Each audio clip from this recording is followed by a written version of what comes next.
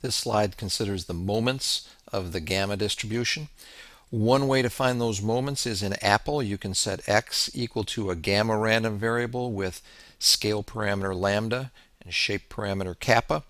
When you call MGF, you will get the moment generating function. When you call mean, variance, skewness, and kurtosis, you will get kappa over lambda for the mean, kappa over lambda squared for the variance, 2 divided by the square root of kappa for the skewness, and 3 times kappa plus 2 divided by kappa for the population kurtosis.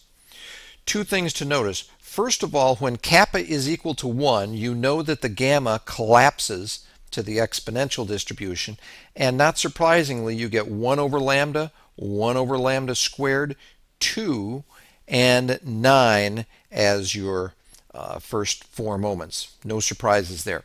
The other thing that's interesting to look at is what happens to the skewness and the kurtosis as kappa goes to infinity. Well, the skewness goes to zero.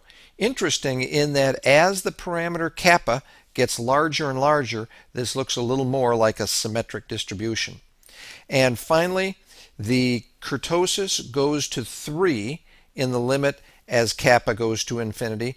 And that is also interesting because that particular kurtosis is associated with a normal random variable.